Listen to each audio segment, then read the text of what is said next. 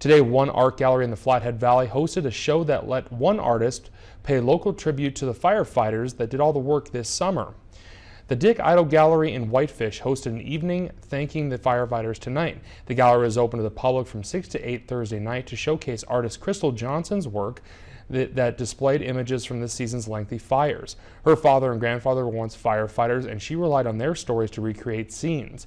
A few firefighters were in attendance and Crystal actually gave them a painting thanking them for their service.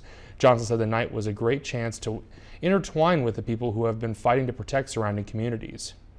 I'm really grateful for the opportunity and I know the whole community just really respects and appreciates the firefighters and I'm glad it's kind of an outlet, a place to get people together with the firefighters so that we can thank them. 10% of the other fire paintings sold at the event were given to the firefighting fund.